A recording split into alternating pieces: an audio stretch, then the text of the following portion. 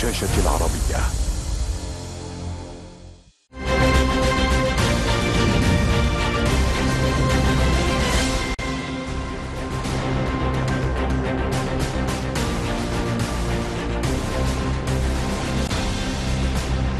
أهلا بكم مشاهدينا الحلقة الجديدة من خارج الصندوق على شاشه العربية ولدينا الليلة. حماس تغزل الأردن بالعودة إليها إذا ما غادرت قطر. وفي خارج الصندوق نفتح الملف ونحاور. دكتور غازي حمد القيادي في المكتب السياسي لحركة حماس ووزير الإعلام الأردني السابق سميح المعيطة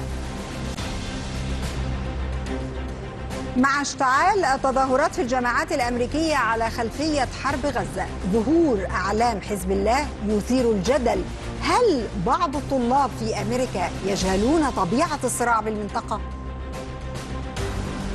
جدل الحشاشين يصل إلى إيران قرار بمنع بث المسلسل المصري وطهران تقول إنه يصورها مصدر للإرهاب فما علاقة إيران بحسن الصباح؟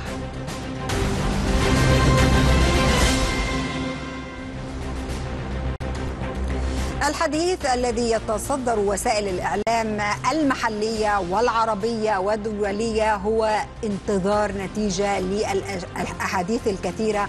نحن جميعا نتخذ موقفا واحدا وهو وقف العدوان على شعب غزة. لدينا بعد الفاصل مع اشتعال التظاهرات بشكل كبير في الجامعات الأمريكية على خلفية حرب غزة. ظهور أعلام حزب الله يثير الجدل. هل بعض الطلاب يجهلون طبيعة الصراع بالمنطقة العربية؟